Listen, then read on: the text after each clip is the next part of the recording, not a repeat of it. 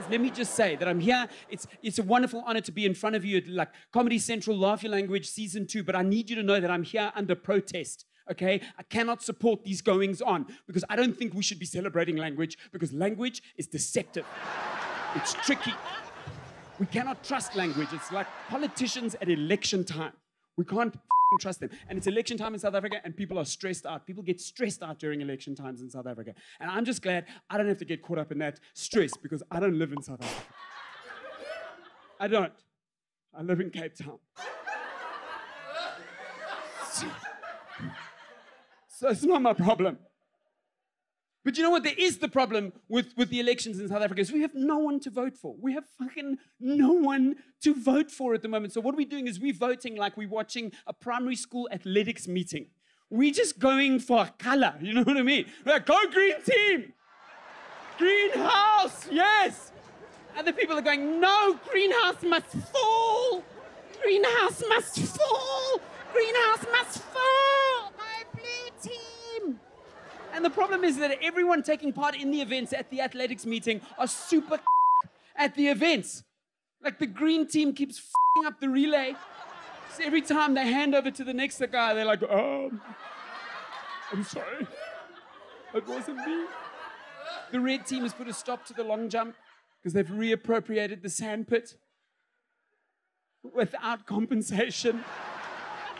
The blue team is lank upset because they feel like they invented the sandpit. It's a problem. We don't know who to vote for. And America right now is in a situation where they're living in shock because they are seeing what it's like and what happens when you vote for the wrong person through an election.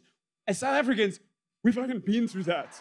We've, we've gone through that and we've come out the other side. We are like the walking dead of voters. Seriously. So we don't care who's the next president. We'll vote for anything.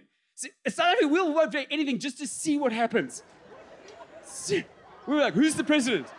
It's a ham and cheese sandwich. What's he doing? He's melting. It's better than the last guy. What did he do? He ate the Constitution. What? Yeah, he was a goat. It's like a goat. Yeah, he's a literal goat. He climbed up onto the presidential desk and he ate the Constitution. It's better than the last guy. What did he do? He literally took a on the Constitution. A steaming little turd on the Constitution. Who is that? Jacob Zuma. If you want to believe that Xhosa is confusing, listen to Gwede Mantashe. Gwede Mantashe can come up with five words that mean the very same thing in one sentence. Mr. Gwede Mantashe, how are you going to work out the e-tolls? Besizixelele into yoba sizawuyuza ii-methods okanye izi-procedures kaske ndithi ii-plans ndithetha ngezi-strategies okanye izi-protocols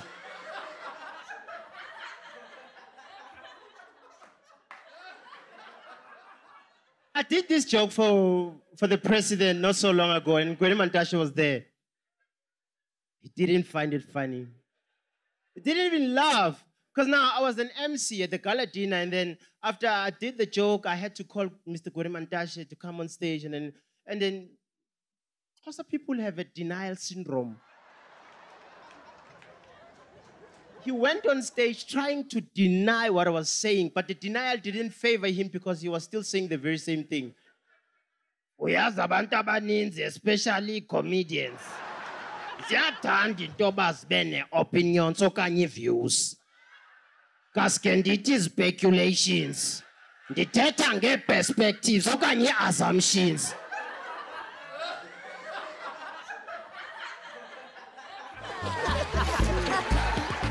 I don't know who to vote for, guys. I don't know who to vote for. It's a mess in every direction. It's a hot, hot mess. But I want to request one thing from all of you guys today.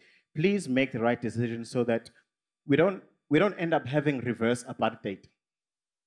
I see some comrades are excited of the idea. Let's know. Let's let's not go towards reverse apartheid. I don't think it would be a great idea because can you imagine we have reverse apartheid happening like right now? You have a black guy by the name of Tabo living in the suburbs, double story house, walks into his lounge with so much black privilege. Walks in and he thinks to himself, I want to have a whiskey. Goes into his room there, takes out a chair, takes out a whiskey, takes out a cup, pours his whiskey, takes out one ice block. And then he sees outside a window. He sees a white couple looking very suspicious. Tambi! Tambi! Call the police now. There are some white people in the area. They look very, very suspicious. Hey, Tembi runs to the phone. Hello, hello, uh, Constable. Yeah, what is the problem? We need your help. Uh, what is the problem? There are some very dangerous people. Describe them. They are white. I'm coming. Come straight, gets there in five minutes flat. Stops the car, comes out his car.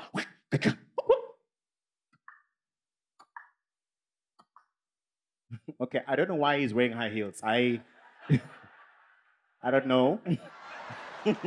but to each their own. They each their own. And goes over to the lady and says, Hey, Werner, what is this on your head? Hmm? What? Why is your hair real? Eh? Why is your hair real? You should be wearing a weave or bonding when eh? Hmm? Where is your dompas? Okay, it wouldn't be a dompas. It would be something just to fuck with white people so they can't pronounce it, you know? So say, hey, Werner, where is your white uchakavata?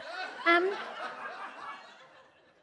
um, um, my watch is here, sir. That's all I'm fine. All right. Delilah. Delilah. Aibo, it says Delilah over here. It says Delilah. Yeah, Delilah, wanna Delilah. You're not. Take this. I'll deal with you now. What about you, Wena Fana? Hmm? Aubrey, I am very sorry. It's just that. Eh, eh. What is your name, Wena? Aubrey, uh, my name is uh, Jonathan. Jo- jo- Jonathan. Jo- Jo- Jonathan. Hey, it's too difficult to pronounce. We're now going to call you Nchaganepo. All right? Nchaganepo. what are you doing here this late, huh? You know that Mlungu hours say you should be at home by now. No, Aubrey. I- ah, We're taking you to Malema's Island right now. Come, come, come. and when you get to the beach, there they tell him, no, you swim, you swim, swim to the island. We're stopping you, swim, swim, swim. And gets into the island. He's now behind bars, singing a white struggle song. Sounds the call to come together and united we shall stand. Let us live and strive for freedom in South Africa. Our hey, winner, whose land? Your land.